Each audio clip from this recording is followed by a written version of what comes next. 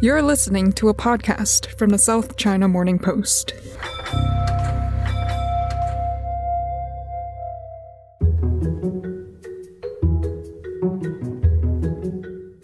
Hello, and welcome back to the Inside China podcast for the second episode in the special series looking at how Hong Kong's experience of the pandemic was just a little different to how it played out elsewhere these past three years. My name is Holly Chik, speaking to you from the newsroom here at the South China Morning Post. And in this episode, you're going to hear about some of the people who took it upon themselves to use social media to help others. Elsewhere in the world, social media was struggling to regulate the tsunami of misinformation, conspiracy, and racism that was described as an infodemic by the WHO. But here in Hong Kong, certain groups and certain people on Facebook and Twitter became known as trusted sources of information. There's one particular Facebook group which started out as a small online community aiming to support people stuck in quarantine isolation. It grew and grew to become an essential resource for anyone flying into or out of Hong Kong as well as journalists wanting to report the stories of people in quarantine hotels and quarantine facilities. This group highlighted the plight of this family, and us as journalists were able to highlight these rules and how they affected people. It also became home to one of the most heartwarming and life affirming Facebook threads of the entire pandemic. My 84 year old mom is returning home from uh, New York City alone to Hong Kong. Her name is Anna Gong, and she will be in a wheelchair sitting in the premium section. Is anyone else on that flight? Please help us take care of her until I pick her up from Asia World Expo, hopefully Sunday afternoon. The other is a story about a person who worked for quite some time under a pseudonym but has now revealed themselves. He is a self described stay at home dad who started live tweeting the daily press conferences by the Hong Kong government and health officials. And he just kept on doing it. I'm probably a little uh, OCD on it, but I like to do it every single day. I've been doing it every day for 1,100 days in a row. Uh, it's just become a habit, I guess, and, and I, am happy to do it. I mean, it doesn't pay. I, some people have donated some money, but I'm happy to do it every day.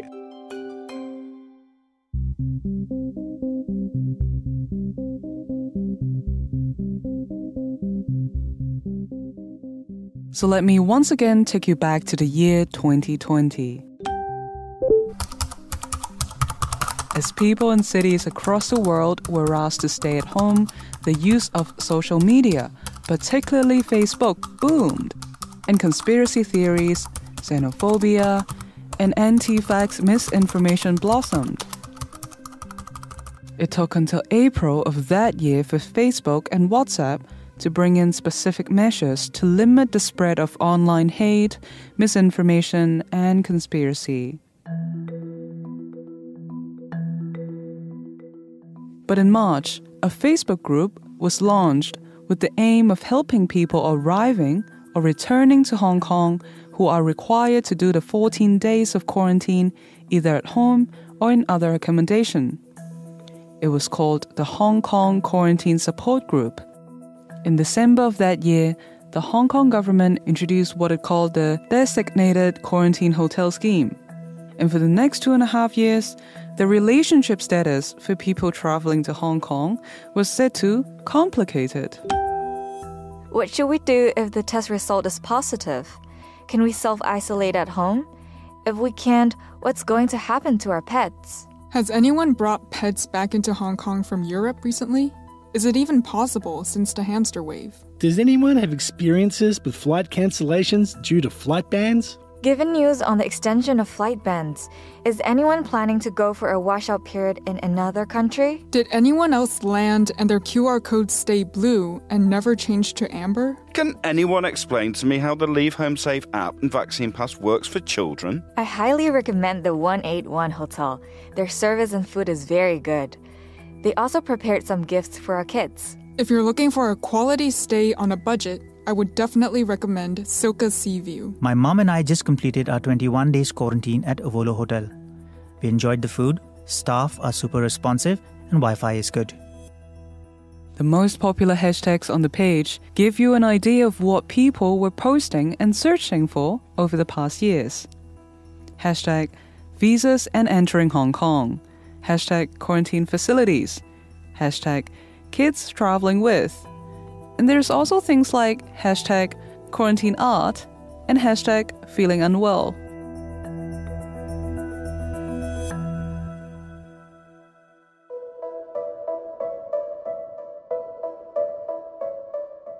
But this page really grew in popularity when the Hong Kong government opened a quarantine center with 3,500 beds, not far from the Hong Kong Disneyland.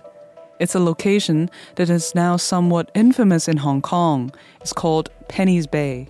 In 2021, it was where you got sent for your first week of the 21 day quarantine if you were an American arriving in Hong Kong. In 2022, it was where many got sent if you reported mild symptoms of COVID, including members of the Hong Kong government and the political establishment who tested positive after attending a controversial banquet with 200 people. 我作为啊立法会议员其中一个，系要监督政府要做好啲嘢佢。 This is the sound of Junius Ho, a pro establishment hardline politician. One day after being sent to Penny's Bay, he live streamed on Facebook and criticized the quarantine order.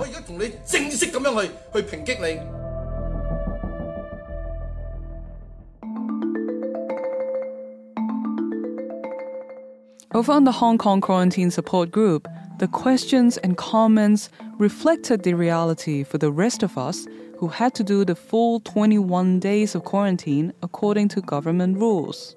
My husband tested positive on day three of our hotel quarantine and got transferred to Penny's Bay. Unfortunately, he doesn't have a towel and hasn't taken a bath in two days. Does anyone know who he can contact to get a towel?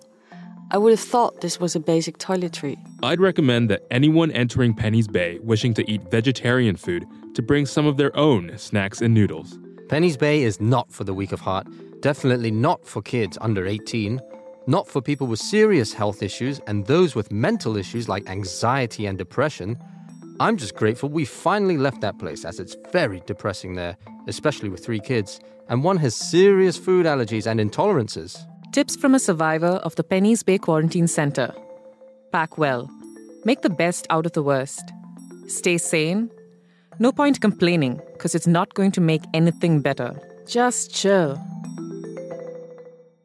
Now, we've been in contact with the person who started the Hong Kong Quarantine Support Group, as well as one of the long term admins for the page. They're very modest and don't want to go on the record, but they're happy for us to tell the story of this small group of volunteers who worked to maintain a crucial online support group for Hong Kong over the past three years. Laura Westbrook works on our city desk and, like many of the journalists in the city, is a member of what was once called the Hong Kong Quarantine Support Group on Facebook. Hello, Laura. Hello. People in Hong Kong had a very different experience of the pandemic via Facebook compared to the US, Canada, Australia, and the UK. And it's all about this particular support group. Tell us how you found out about this group. Yeah, so I think the Hong Kong was very unique when it came to the pandemic. And what I mean by that was let's go back in time, back in 2020, if we re- try and recall what the atmosphere was like back then. There was a lot of fear. People were still unsure about the virus. We didn't know, you know, there's no vaccine at that point. And I did a story about Hong Kongers kind of helping each other, such as donating food and masks to the needy. And I came across this uh, Facebook group called the Hong Kong Quarantine Support Group. It was started by two women, and it was sort of an online forum to provide initially kind of support and donations, a buddy for people who were in quarantine or undergoing isolation. And back in March 2020, it had 2,000 members. There were about 70 volunteers who would deliver food to people who were quarantined. Now it's grown to 97,000. Back then, there was a desire by these two women to help other people. Like, what was quarantine like? What was it like to undergo isolation? And people would post about what it was like and, and to give people information. And also, this group was providing donations and if they needed stuff while they were in there, giving that to them as well as kind of support. So it really started from that and, and then sort of grew into something else. So, what kinds of people were posting there? So, when I say it kind of grew into something else, it then grew into this sort of research center. It's hard to even go through how many changes Hong Kong went through during the pandemic. There were so many rules that would come into play, sometimes at really short notice. Hong Kong had 21 days quarantine, we had 14 days quarantine, we had seven days quarantine. There were rules where you could do home isolation with a bracelet if you tested positive. Then you were sent to a quarantine camp uh, and hotel quarantine for people who were traveling into Hong Kong. So there were so many things that happened, like sort of rapid fire. And this became a group to share information about what was happening, what was the experiences of people when things changed. And then when hotel quarantine got into place, it then sort of became like a review group of you know, what were the good quarantine hotels? What were the bad ones? Like this hotel, the food was terrible. At this hotel, you know, it's great for children. You know, people who were traveling at that time and experiencing, you know, hotel quarantine and, and different hotel quarantine groups, they would share their experiences. And so for anyone who was even thinking about traveling or who had family members who were going to be coming into Hong Kong, it became like the go to group of what to expect or, you know, what hotels to book. I myself, I did hotel quarantine once for seven days. Thank God, all I could um, manage um, mentally. I can't even imagine people who actually did 21 days. But it was the first place I went to when I was looking for a hotel. There was a search function, and you, you know, you have a search, and I was looking at different people's reviews. It was so helpful. It also then kind of evolved into people creating different spreadsheets about, you know, at that time last year, if airlines carried a certain number of COVID positive passengers, they would get banned. And this caused huge amounts of disruption to people who were traveling because, you know, you'd book your flight, then uh, you get to the airport, and then the previous flight, there would be people who tested positive the flight would get banned, you'd be stranded in, you know, whichever country.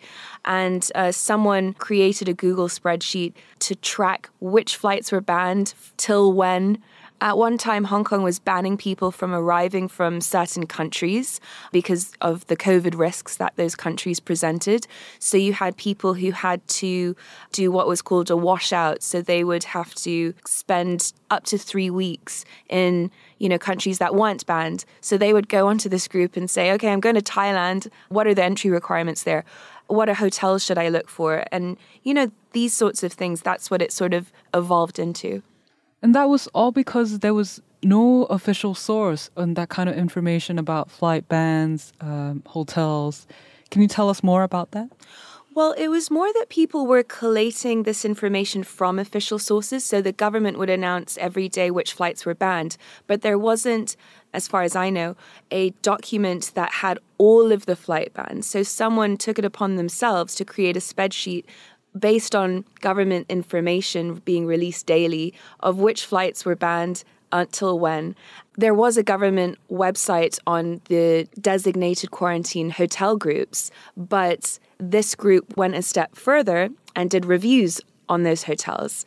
So it really was people taking it upon themselves to share information, to gather information, to collate information using their own time, their own resources, in order to better inform the public. And I think that's what made this group quite special because it was really the community coming together to help each other out at a time of great uncertainty and when people's lives were being disrupted, especially if they had to travel. And it also became a very important source for journalists because there were all these stories about what went wrong inside the quarantine hotels. Oh, absolutely. I mean, we as journalists would go on this group just to see what people were posting, what their experiences were. It was a way when people were, you can imagine, someone's trapped in their hotel, maybe something goes wrong.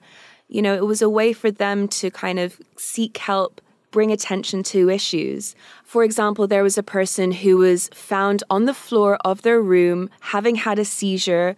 They were found under routine testing when people have to do PCR tests when they're in quarantine. And they were found on the floor, unconscious, having suffered a seizure. Luckily, they were taken to hospital. They survived. They were actually okay. But you can imagine how harrowing that must be. It also highlighted rules that some people didn't even know existed. For example, a mother posted on the group about her son who is autistic. She had sought a exemption to have home quarantine rather than hotel quarantine because her son has autism being confined to kind of smaller and unfamiliar space like a hotel room would be very distressing and potentially he could hurt himself. But the Hong Kong rule was you can only apply for an exemption when you landed in Hong Kong. And so for them, that was difficult because the reason why they were applying for an exemption was to not go to hotel quarantine, but they could only do that after they arrived in, in Hong Kong and were told to go to ho- hotel quarantine to wait for the you know ruling of whether they could get the exemption. So the father and the son stayed in the airport for several hours trying to get an answer. Eventually, they did go to the hotel and then they did get the exemption the next morning. The health officials said that they did not accept pre arrival applications because of the volatile coronavirus situation. So that was their reason for that. But this group highlighted the plight of this family. And us as journalists were able to highlight these rules and how they affected people, especially, you know, people with disabilities, which wasn't widely reported. Laura, can I ask how often do you see issues being raised within the Facebook group became questions by journalists in the daily press conferences with the government officials? People highlighted different rules and how they affected them. And, you know, obviously there was a lot of discussion and criticism of these rules because people saw the impact of them in real life, in real time. One of the impacts of these rules, which did have a, you know, very human impact, was COVID positive mothers being separated from their children, which happened for about you know over two years. I reported on it back in 2020. This exploded again when a um, mother shared that her COVID positive baby had been separated from her. And, you know, this led to diplomats stepping in. The Australian and the British consulates commented on this case. Eventually, even the leader of Hong Kong, Carrie Lam, commented, and um, this was subsequently changed. The group is still going, but it's changed its name now to the Hong Kong Support Group. What kind of things are being posted now? Yeah, so I think they were thinking of closing the group down, but it's still going and it's run by a handful of moderators. People are still posting questions. Um, for example, I saw questions about where they should get PCR tests or RAT tests. What are the entry requirements uh, for different countries? With Hong Kong having reopened, someone posted about going across the border, what visas they needed, what was the process like. And I think these sorts of things, people are still turning to it as a source of information. Laura, I guess you'll still be checking the group from time to time, and we'll, of course, follow your reports on scmp.com. Thank you very much. Thank you so much, Holly.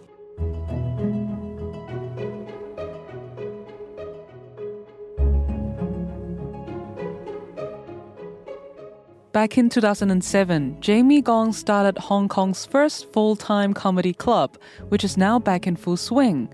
But he's also responsible for what has become known as one of the greatest Facebook threads in Hong Kong's pandemic history.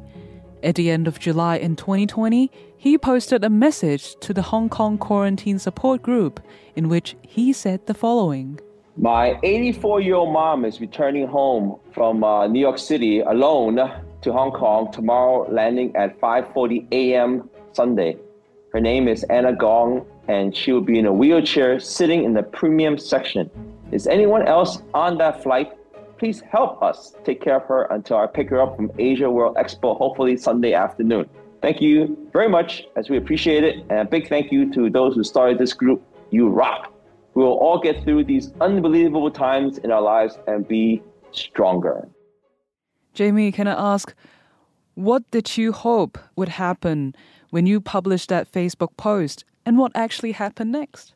Well, as we all know, at that time, there was a lot of uncertainty and testing at the Hong Kong airport, and nightmare stories were coming out about how long. So I didn't know how long uh, she would be at the airport. And then I asked my friend who just came back from Los Angeles what happened, what was the expectations of her landing. Then she was the one that told me about this new group that just started, Hong Kong Quarantine Support Group, that I never heard about. So, okay, let me get on it, checked it out, and people were asking a few questions. So that's when I just, you know what, got nothing to lose, never hurts to ask. Let me just post this and see what happens. And the rest is history. so uh, once I posted it, there was just real time updates about my mom, people next to her seeing uh, her, spotting her. And I just went to the airport knowing that it will be a long wait. I got there, I think they landed at 6 a.m. supposedly. So I got there around that time. And I was just keeping up with the posts in real time and everyone was with my mom going from one test to another, one room to another, watching her and giving us updates. It was a long ordeal at that time, and she finally got out at like 7:40, almost 8 p.m. Literally 14 hours that day. It was a long day, but what was great about the post was that it was just I think 600 plus messages, comments uh, mostly positive. It was like a Korean drama, and humanity still exists because a lot of people were just helping my mom. These are total strangers. Just also watching the posts, finding out updates. When is he going to get out? What's the ending? What when when? So there's a lot of drama and tension, and I was trying to keep humor into it. If you read the post, doing laps around the Hong Kong airport, keeping myself sane as well. It was the longest I ever spent at the airport and just writing funny messages, you know, as a comedian, just trying to keep everybody's spirits up. And finally, I knew uh, there had to be a happy ending, so I made sure to keep everything, everybody updated at the end. When I finally saw her, I made sure to videotape, uh, take pictures, and post it up, and everyone was so happy and grateful. That it was a great story, great ending. Of course, my family and I were very appreciative of everything.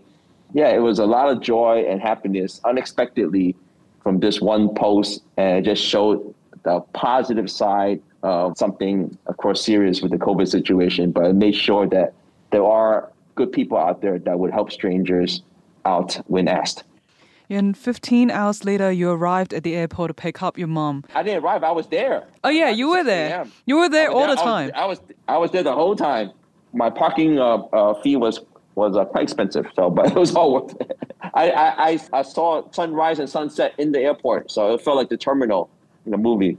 Oh, Jami, how did you explain to your mom that there was a small army of strangers from the internet looking out for her?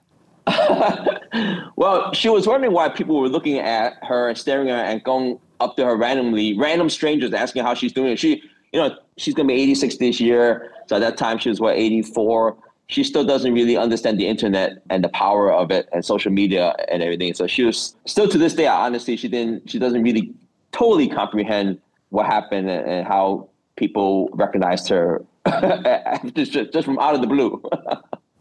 so when you posted this message, there were around 27,000 members in the group, and now there are more than 97,000.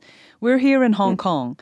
Can you explain to people overseas the importance of the group and what it did for people trying to navigate the changing rules on testing and quarantine at a time?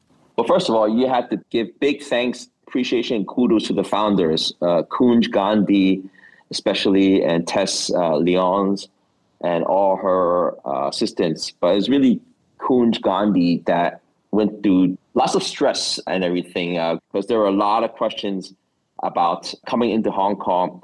I'm sure the world outside of Hong Kong, you just hearing from the news, you heard about all the changes, good and bad, about the rules, regulations coming into Hong Kong, quarantine, seven days, 21 days, 14 days, what was allowed, what was not allowed, what kind of testing you needed, all these requirements. It was so confusing, and it, it, it basically changed every week, every two weeks. And this group just gave so much help to so many travelers coming into Hong Kong, answered so many questions, calm people down, brought the stress levels of many travelers down, and basically just answered questions to so many people trying to get back into Hong Kong for the last three years. It's been an amazing, amazing support group, and I'm just happy I found it. And Jami, you run a comedy club here in Hong Kong. What's your sense of the mood now that the borders are open? Well, there's good signs. Uh, there are definitely signs of normalcy coming. People are coming to Hong Kong. It's good that they're, they're allowing tourism and good that we're leaving much easier coming in and going out. Uh, now that you can go to Macau freely, no testing, coming into Hong Kong, no testing. So, but I think it's going to take some time. The last four years, not only COVID, but we all know the protests of 2019. But now that things are opening up, we see the light at the end of the tunnel. I mean, looking at the numbers, lots of expats, including my neighbors, lots of friends have left Hong Kong and never coming back because they did not see the end of all the restrictions of Hong Kong. But I think we all have to agree that we need to move on, move on with life, hopefully things will get back to normal soon. But I think as far as Hong Kong is concerned, it's going to take a few years, in my opinion. Thank you very much, Jami, and say hi to your mom. I will, I will. So thank you very much.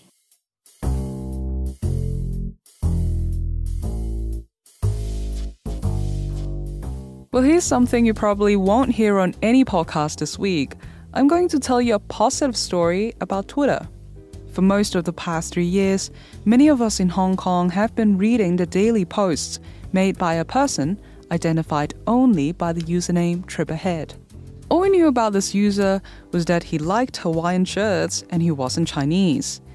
In March last year, he finally revealed himself an Australian called Aaron Bush. Aaron, I was scrolling through your Twitter feed back in early 2020. Noticed that in January and February, you're most likely doing what many other people were doing at the time, tweeting about panic buying, you know, of toilet paper, finding out what the pandemic was all about. But at some point, you deviated from that road. And in March 2020, you started tweeting about the actual COVID numbers in Hong Kong. You know, the number of cases, deaths, the number of people who had been discharged and so on. Why did you start tweeting about such information? Back at Christmas 2019, I went back to Australia for the first time in eight years. And while I was there, the news started picking up about this new virus coming out of China. And I was like, ooh, I live close to there. I'm going to start monitoring it. So, just for my own personal benefit, I started a spreadsheet and I was counting the China numbers. And then, obviously, from January 23, 2020, the first numbers started in Hong Kong. And so I added them to my spreadsheet. And I was watching all the government press conferences just for my own personal benefit. And at one point, I went, well, if I'm watching these press conferences, I might as well put it up on social media somewhere. I didn't want to use my personal Facebook account. I didn't have an Instagram account, and Twitter tended to be a more immediate news source. So you could put it, put a thread, it'll be there, people would see it immediately. So I just started. I had like 300 followers then, and most of them were bots. But I started tweeting out the numbers, and then somebody would ask me, oh, oh, where are you getting this information from? I'm like, okay, I'm doing this. And I also found that it was really difficult to get immediate English language news. So there was online Chinese media, and I was accessing that, translating it into English, and people just kept asking me questions, so it started to snowball from then. And you're not just a one man show, right? It's kind of like a team effort. There is uh, Joe Chan, who supports you with vaccination statistics and testing information. Can you tell us more about that? Well, it just became a community, and everybody was following me and giving me bits of information I didn't know as well. And at the time, it was a one man show. It was just me there doing it all day, and it wasn't formulated like it is now with the same stats every day at the same time pinned and people could access it. I was just putting up what I knew at the time. And as the years went on, I met more people. I Twitter DM and I would chat and then we'd catch up on WhatsApp and talk. And it got to the point like Joel, invaluable. And I mean, he's a genius. I mean, you have to put, he's a numbers man. So he helped me out with a whole lot of stuff. And there's other people too, people that have written scripts for my spreadsheet because that was taking me an hour to hand type up each night as the list got longer of buildings that were under compulsory testing notices. Somebody said, I can write a little JavaScript for that and it'll pop up and it'll show you on a map and all that. So that's just sort of the community, how it became about. It just sort of built itself. The government presses were mostly held in Cantonese. How did you deal with the language barrier? And have you ever thought about being able to join the presses in person? Well, they do the press conferences in dual language anyway, so I'm listening to the English feed. Other people are listening to the Canton. I mean, I ended up with a whole group of people, journalists and others, that were all watching the 4:30 press conference and helping me out. So some people were listening in Cantonese, I was listening in English. So that made it incredibly easy. And also, because I knew so many people going to the press conferences, I could get questions asked. Like, oh, do you think you could uh, talk to Dr. Chuang about uh, this thing or what, what the CT value cutoff is? So um, it was always handy. I, and did I ever want to go to one? Uh, no, I don't think so. I, I'd probably embarrass myself and never be invited again. So I was quite happy to sit at home and watch them in my bedroom, lying on my bed with my laptop in front of me, just typing out the press conferences. That's more my speed. Yeah, and the number of people that are following you on Twitter has increased to more than 30,000 people now, and you've become the go to source for COVID information for many journalists as well in Hong Kong. After three years of watching presses and tweeting, why do you keep doing this? And what gets you up every morning to do all these? I'm a stay at home dad, and my children are getting a bit older now. They're now both in their teens. I had spare time on my hands. I was getting them off to school and then I would be reading the news all day. Other people have got to go to work, or I was just sitting there on my laptop all day, scrolling through the 20 tabs I have open every day on Chrome. So I'm probably a little um, OCD on it, but I like to do it every single day. I've been doing it every day for 1,100 days in a row.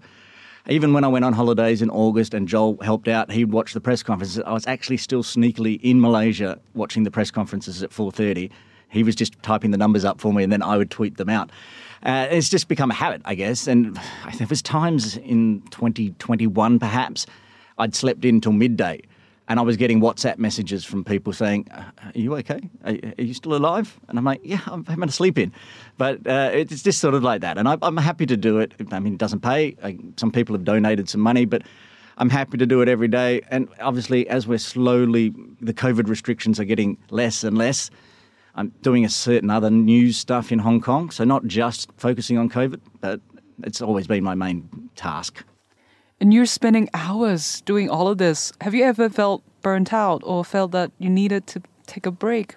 I guess probably in the middle of 2022 when the fifth wave, I was working 14 hours a day. There was press conferences at 11 a.m. So maybe I woke up at 10 a.m., had a coffee, started with the daily press conferences, then the 4:30 press conferences, and I was going to bed at 3 or 4 a.m. It was just a huge long day of 14, 16 hour days. And yeah, I was exhausted, but I'm sort of that mentality that it didn't bother me. It was fine other things sort of got shuffled out of the way. The kids, they'd come home from school and like, Dad, is there a press conference on? Do I have to be quiet? And I'm like, yeah, there's one at 4.30. Okay, you just go in your room and I'll see you after that. How would you describe the work that you do and what would you call yourself? Um, social media journalist. I, that's what I, in my head, sort of describe myself as, because that's what I do. I'm not only just tweeting, I'm also scouring the news online and then putting it back out for people. So social media journalist seems to be the, the best title, I guess. And you take this role very seriously, don't you? Because I don't see a lot of typos on your tweets, and you include graphs and charts to make it easier to visualize the data. If you're a media company, we would say that you have a house style, right? But you're one guy in a house. Is there a specific standard that you measure yourself against? I hate typos. I genuinely loathe typos. If I write a tweet that has a typo in it, it will be deleted, rewritten, and retweeted out. And I really struggle with uh, spelling. I, I make so many typos. So I read it, I make sure that there's no little red lines underneath it from Chrome to say that I've misspelled something, and then I tweet it out. But also with the formula, I just, I've always tried to keep it as simple as possible, especially the press releases that come out from the government are incredibly wordy. They are really difficult to decipher, even if in Chinese and in English. So I try to take that information and make it A, fit into 280 characters, and B, make as much sense as possible so people can just easily understand what the next set of rules are. And Hong Kong is a city where journalists are criticized for picking quarrels with the government. You've been reporting on all these presses and announcements for three years now, and you've been walking this balance. You're critical and express your frustrations, but you also don't rant or lose your temper. How do you find your voice in the media landscape? Hong Kong is tough. Let's be honest. We all know that. Hong Kong is tough. I know pretty much where my lane is. I try not to stray outside the lane.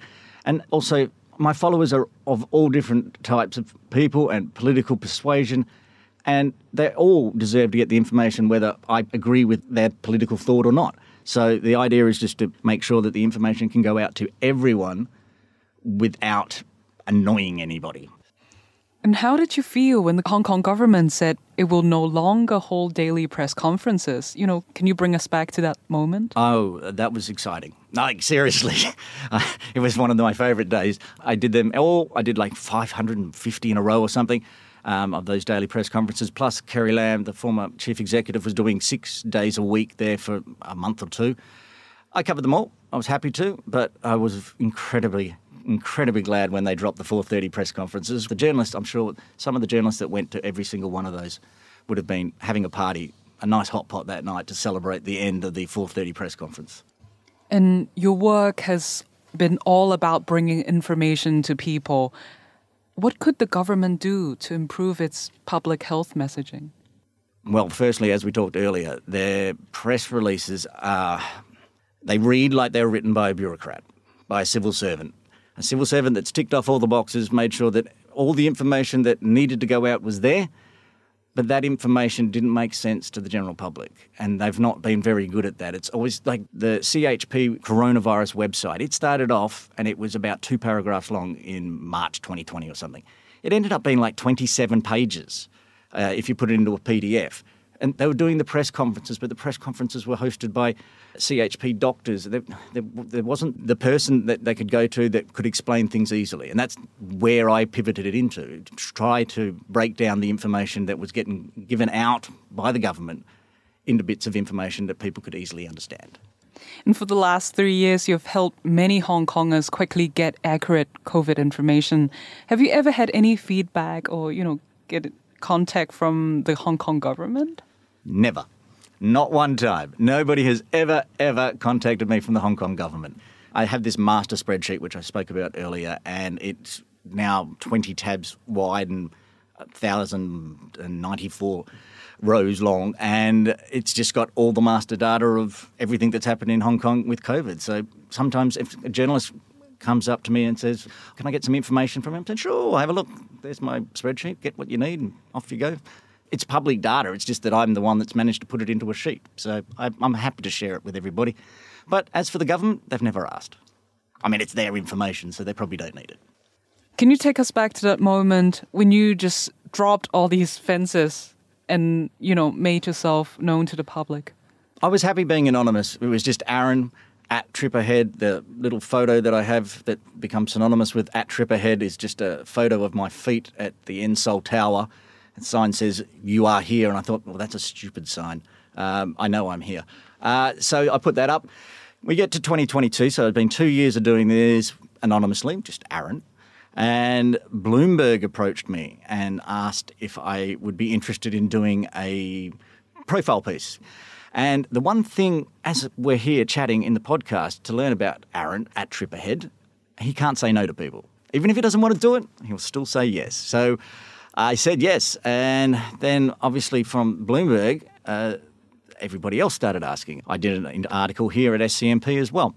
So, yeah, it's just sort of once the cat was out of the bag, I'm like, all right, I'll put my surname up there as well because everybody knows it. And people occasionally recognize me. People quite often like send me a DM and go, Did I just see you at the airport? I'm like, I'm lying in bed, my friend. Uh, that wasn't me, but nice try. I think there's about five or six times people have gone, I just saw you in Central. I'm like, that's back when I had the man bun. That was the other thing. Everyone knew I had a man bun. So, I've shaved that off now. So they'll like message me, oh, I just saw you in Central. I just saw you down at the ferry pier. I'm like, no, wasn't me.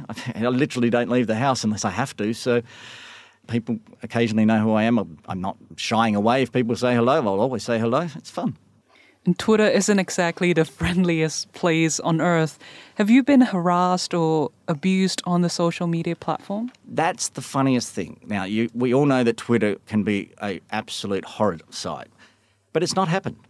I don't get people DMing me and ranting and raving at me. I get people that are asking questions a lot, and I help everybody. Anybody that sends me a DM, I will answer. And of course, when I was doing 14 hours a day, was just replying to Twitter DMs with people trying to get back to Hong Kong or figuring out what they need to do for quarantine hotels.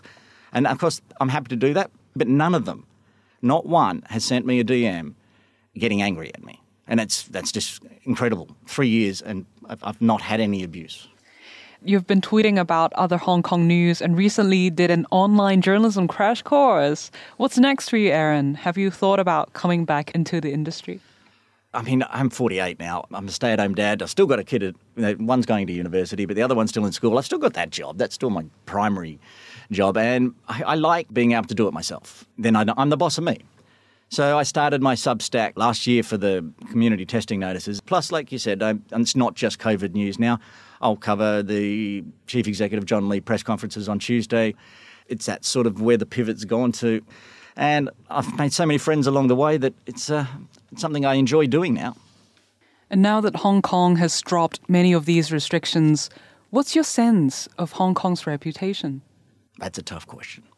Um, three years, we did it our own way, and it wasn't the way that a lot of the rest of the world did it. And a lot of the time, even us here in Hong Kong had no idea what we were doing. There was no real guidance. We've never done a roadmap Singapore style to say we're going to move out. It's just always been we hope to this, that. Now, so I think at that point, there's two things. People packed up and left because they didn't have the information that they wanted. Had they been told, yes, we're going to move forward in November, December of 2022, some of them would have stuck around. Others have stuck around and are happy with it and know that now that we're moving forward, it's going to recover. The businesses will come back. But whether those that left all come back, I don't know. Um, many have found homes in different places. I mean, we're talking expats here as well as uh, anybody from the mainland wanting to move across. And so we can only see what happens in 2023, whether the situation improves for the economy so 2023 is going to be less about COVID restrictions and more about how Hong Kong rebounds. And until the end of the year, we won't really know. Aaron Busch, otherwise known as Tripperhead, we'll see you on Twitter. Thank you for your hard work and your time. Thank you very much. And you can also catch me at, you won't believe this, tripperhead.substack.com.